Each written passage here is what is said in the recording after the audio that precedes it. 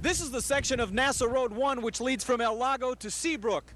Wind and waves have turned it into a watery junkyard. Even a boat won't do you any good today.